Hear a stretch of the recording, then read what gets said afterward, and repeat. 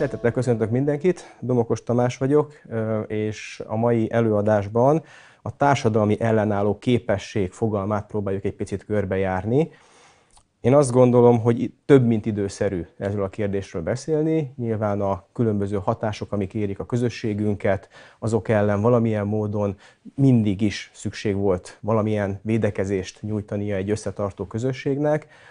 Ennek azért nagyon sok feltétele van, nagyon sok egyéb összetevője van, erről fogok ma egy picit beszélni. Ellenállunk, ez az előadás címe alapvetően, egy kérdőjellel, még egy felkiáltójelet is alatt tehettem volna, hiszen azok a hatások, azok a külső erőforrások, azok a külső tényezők, amik befolyásolják a mindennapi életünket, akár a településünkön, akár az országunkban, akár az Európai Unióban, azért egy részben függetlenek is tudnak tőlünk lenni, erre valamilyen viszonyt ki kell tudnunk alakítani.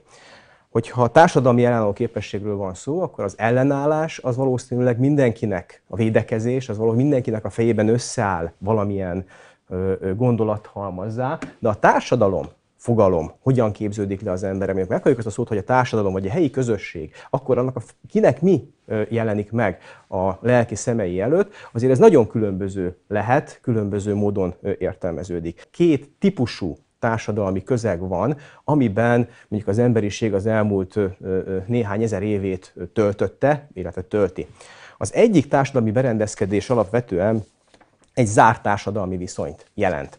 Nagyjából hogyan lehet jellemezni ezeket a közösségeket? Egy merev, hierarchikus viszonyokkal terhelt társadalmi közegről beszélünk, amelyekben nagyon jól körvonzottak természetesen a határok, fizikai határok is, az adott kultúra határai is, az adott mozgástérnek a határai, határai is, akár egyénekről, akár közösségekről, akár csoportokról van szó. Egy ilyen társadalmi közegben mindenkinek előre meghatározott szerepe van. Azt is mondhatnánk, hogy ez gyakorlatilag egy kasztrendszer amely kasztrendszer nyilván egy viszonylag jól védhetővé teszi a külső hatások ellen a maga belső közösségét is.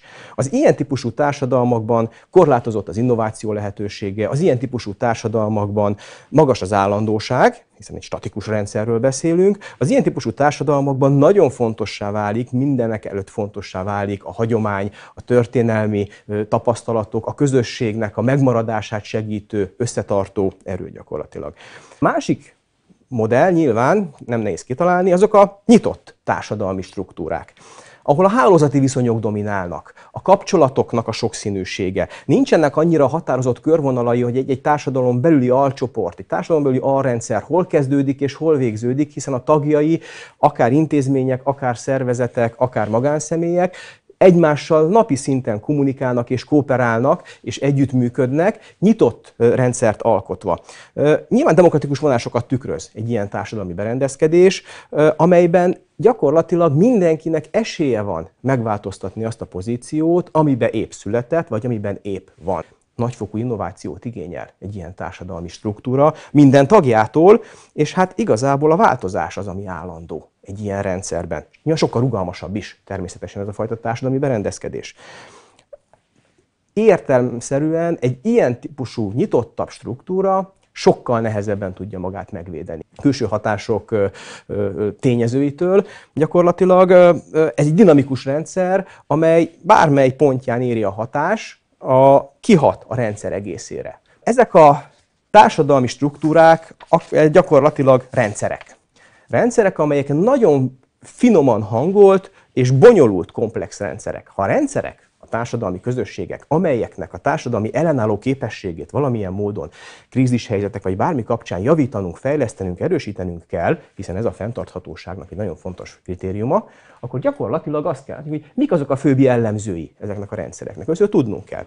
Hát először is határok veszik körül ezeket a rendszereket. Mint mind az emberi társadalom, a helyi közösség is egy rendszer. Ha rendszer, akkor érvényes rá a rendszerrel kapcsolatos, a rendszerekkel kapcsolatos elméleti kritériumok. Ennek az egyik ilyen jellemző, hogy határok veszik körül. De hát nem csak határok védik, hanem minden rendszer alapvetően a kapcsolatokról szól. Azokról a kapcsolatokról, amelyek vagy hierarchizáltak, mondjuk egy zártabb rendszerben, vagy nem hierarchizáltak, és networkingben próbálnak az, egyes szereplői az adott közösségnek valamilyen módon boldogulni, az életüket megoldani és szervezni.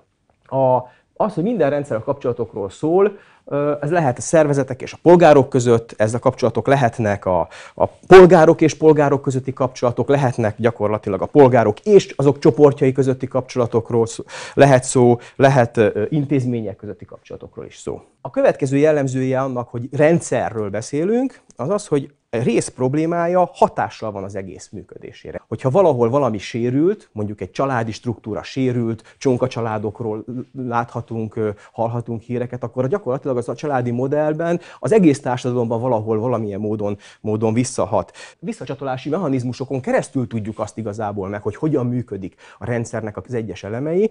Ezek a visszacsatolási elemek, ezek gyakorlatilag lehetnek nagyon direktek is, mondjuk egy társadalmi közegben, lehetnek tüntetések, lehetnek tiltakozások, lehetnek díjak, oklevelek, amikkel visszacsatolunk a különböző szereplőinek, a különböző aktorainak a társadalmi struktúra különböző szintjein. De a rendszereknek jellemzője az is, hogy mindig a rendszerekből tevődik össze. Különösen olyan bonyolult struktúrák, mint az egész társadalom, vagy egy, vagy egy adott közösség, helyi közösség, különböző alrendszereket tudunk megkülönböztetni, gyakorlatilag a kormányzás önmagában egy alrendszere a társadalmi működésnek, a gazdasági struktúrák egy önmagában egy alrendszer a, a működésnek, a környezeti rendszerek önmagában egy működő alrendszere, életminőség, önmagában a közösségnek a védelmi struktúrája, mondjuk a, a, a védelmi képesség fokozása, ezek mind-mind önállóan is működő, de egymással kapcsolatban álló alrendszerek. Tehát rendsz, ha társadalom, mint rendszerről beszélünk, amit egyébként ugye a hatások, beavatkozó hatások ellen próbálunk valamilyen módon védeni,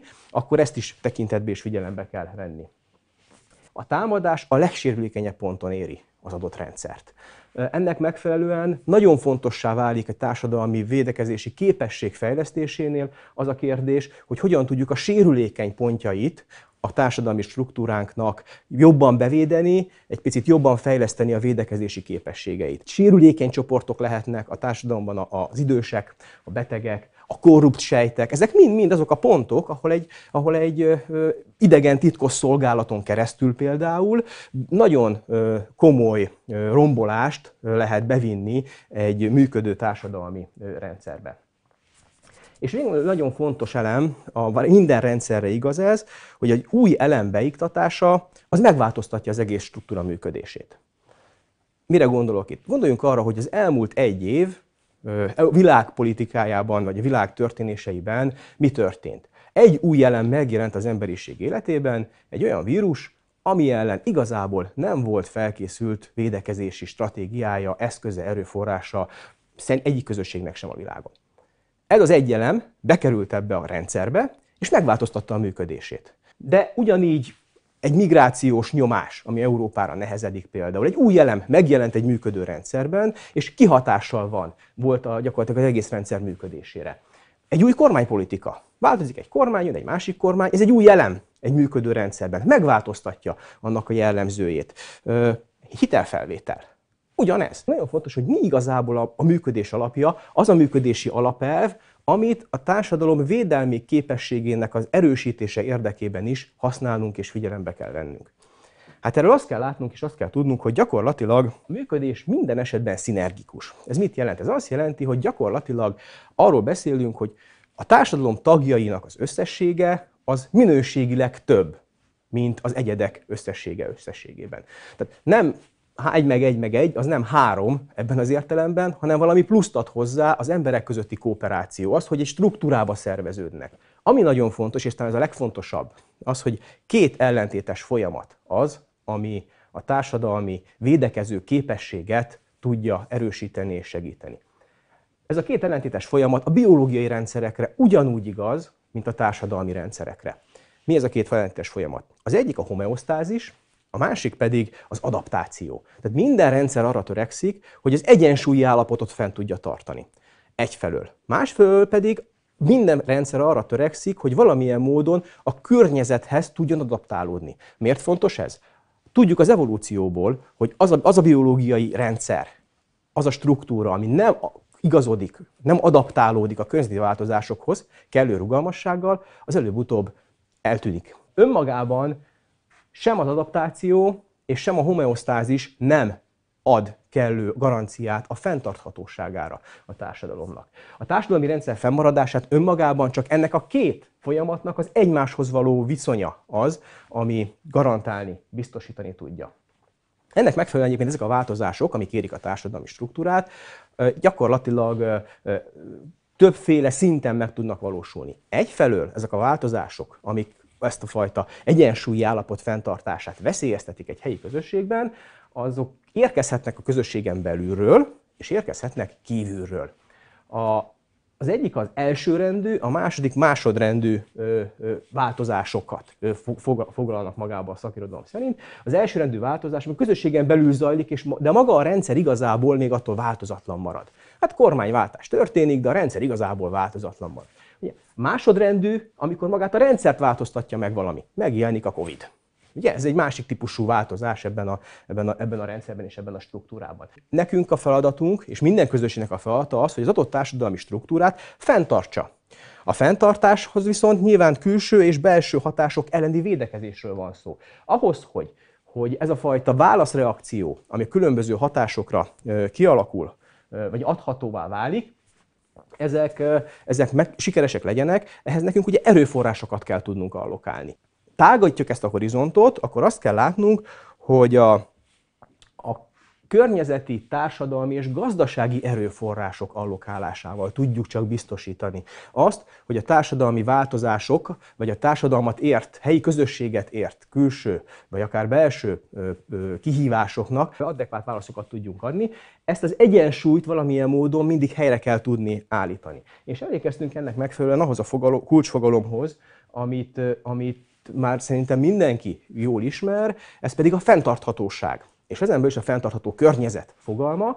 Az egészséges és fenntartható környezet ugyanis az alapfeltétele annak, hogy sikeresen meg lehessen küzdeni az adott közösséget vagy társadalmat ért különböző kihívásokkal, a védelmi képesség erősítését ezen keresztül tudjuk csak biztosítani és elérni.